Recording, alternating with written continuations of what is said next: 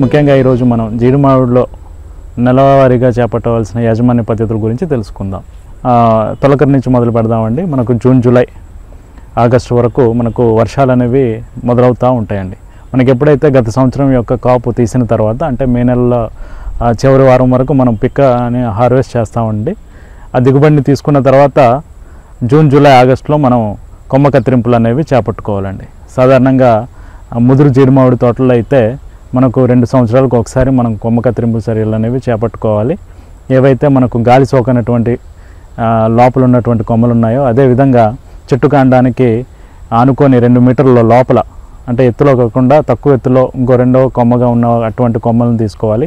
అదేవిధంగా నేల మీద పాకుతూ పోయే కొమ్మలను కూడా మనం కొమ్మ కత్తిరింపుల ద్వారా తీసివేయాలి. అదేవిధంగా పూదరానటువంటి కొమ్మలను కూడా మనం కొమ్మ కత్తిరింపుల ద్వారా తీసివేయాలండి. గాలి సూర్యరశ్మి చొరబడేలాగా మనం ఈ కొమ్మ కత్తిరింపులు చేపట్టుకోవాలండి అదేవిధంగా కొమ్మ కత్తిరింపులు అయిపోయిన తర్వాత మనకు ఈ వర్షాకాలంలో తొలకరి వర్షాలకు ముఖ్యంగా ఏదైతే కలుపు సమస్య ఉందో ముఖ్యంగా కలుపు మొక్కలు అనేవి విపరీతంగా పెరగటం జరుగుతుంది. ఆ మధ్యలో మనకు ఇంటర్ కల్టివేటర్స్ అని ఉంటాయండి కలుపు తీసే యంత్రాలు అని ఉంటాయి. వాటి ద్వారా మనం కలుపుని అనేది తీసుకోవచ్చు. అదేవిధంగా మనకు గత సంవత్సరం యొక్క ఆకుల్ని ఎండిపోయిన ఆకుల్ని మొక్క చుట్టూ వేస్తున్నా కూడా మనకు ఈ కలుపు సమస్య అనేది రాకుండా ఉంటుందండి. సెప్టెంబర్ అక్టోబర్ నవంబర్ మాసంలో కూడా మన ఈ తొలకరి వర్షాలకి మనకు మన మరలా మరలా కలుపు వస్తుంది కాబట్టి ఆ కలుపుని మనం తీసుకున్నట్లయితే ముఖ్యంగా ఈ ఏదైతే కాండం మరియు వేరు తొలిచే పురుగులు ఉంటాయో ఆ ఉధృతి మనం తగ్గించుకోవచ్చు. అండి అదేవిధంగా పోషకాలను కూడా మనం కాపాడుకున్నట్లయితే అది ప్రధాన మొక్కకి ఉపయోగపడి మరింతగా అది ఎదిగే విధంగా ఉంటుందండి. ఇకపోతే మనకు నవంబర్ డిసెంబర్ మాసాలకు వచ్చేసరికి మనకి వర్షాలు తగ్గిన తర్వాత ఆకలి తొడలకు ఉపయోగించుకొని అక్టోబర్ నవంబర్ మాసంలో మనం రెండో దఫగా మనం ఈ సిఫారసు చేసిన ఎరువులు అనేవి మనం వేసుకోవాల్సిన అవసరం ఉందండి. అదేవిధంగా మనకు ఈ ఎప్పుడైతే ఈ డిసెంబర్ నెల నుండి చలికాలం మొదలవుతుందో మనకు తేయక దోమ అనేది కూడా విపరీతంగా ఆశించడం జరుగుతూ ఉంటుంది.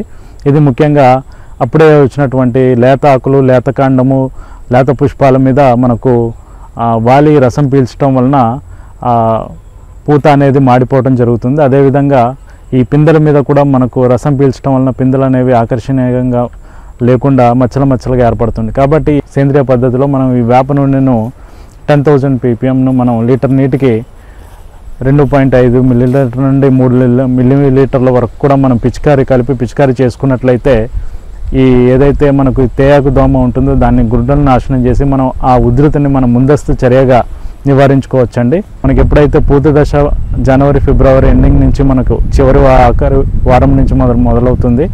ఈ పూత దశ మొదలవ్వగానే మనకు ముఖ్యంగా ఆ సమయంలోని రెండు మూడు తడులు అనేది పదిహేను రోజులకు ఒకసారి మనం ఇచ్చుకున్నట్లయితే ముఖ్యంగా ఈ నీటి ఎద్దడికి గురవ్వకుండా మొక్క పూత అనేది నిలవటం జరుగుతుందండి.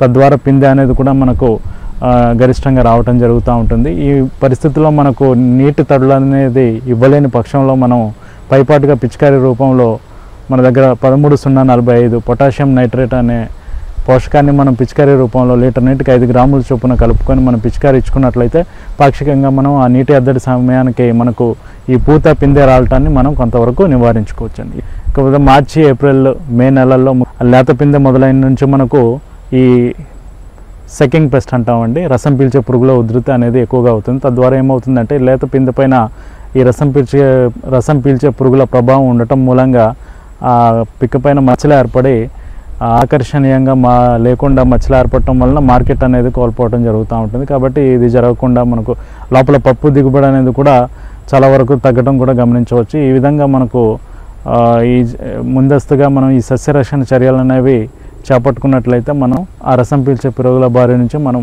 మన పిందెను కాపాడుకోవచ్చు.